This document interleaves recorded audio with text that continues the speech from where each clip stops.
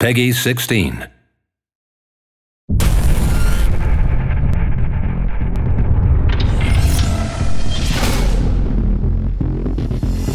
Doing push-ups, running laps, cleaning my weapon, and virtually every other task available to me other than mourning your tragic loss.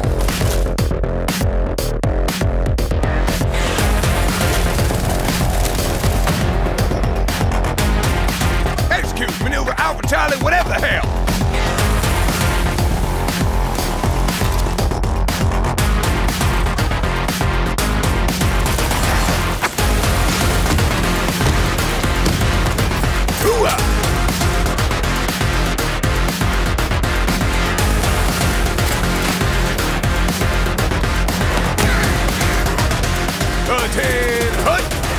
Ha ha ha!